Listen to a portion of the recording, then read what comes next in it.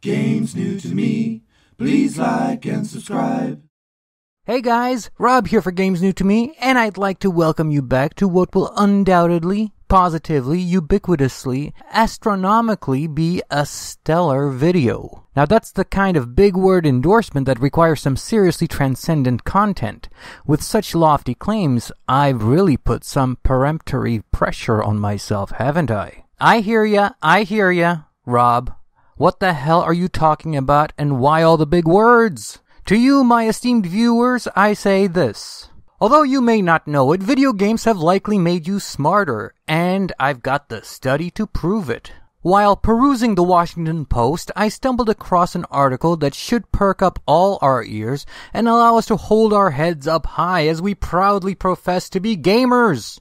In the article, it seems that a group of Yale University researchers led by Yale professor Bruce Wexler studied 583 second graders as they played a brain training game called Activate. Indubitably, the results displayed that the kids who played Activate three times per week for 20 minutes at a time over the course of four months showed marked improvements on math tests and in reading as compared to their peers who did not participate in the study. Speaking of the study, it showed also that in some cases children got more out of playing the educational video game than they did from a tutor. As a matter of fact, kids who were engaged by Activate, the game, did better on math tests than kids who were tutored. Now, the quality of the tutor is obviously the unknown factor here. If the tutor was less engaging than watching grass grow, then small wonder that the tutored kids did worse. But for the sake of argument, we'll give the tutors the benefit of the doubt for the purposes of this video. And yet there is more. It seems that the kids who played Activate the video game for five minutes as a warm up got better scores on completely different educational video games right afterwards. How about that? And this told researchers something important that getting young minds primed and warmed up is an essential tool to get children ready to learn and comprehend new lessons.